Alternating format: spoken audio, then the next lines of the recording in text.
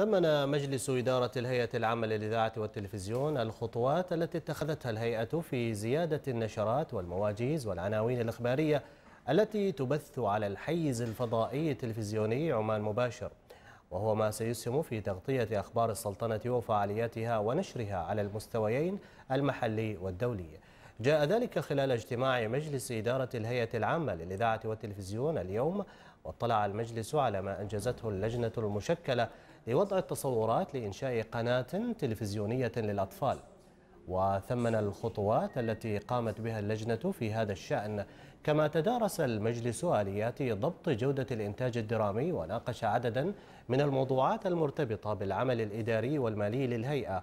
ترأس الاجتماع معالي الدكتور عبد الله بن ناصر بن خليفة الحراصي رئيس الهيئة العامة للإذاعة والتلفزيون.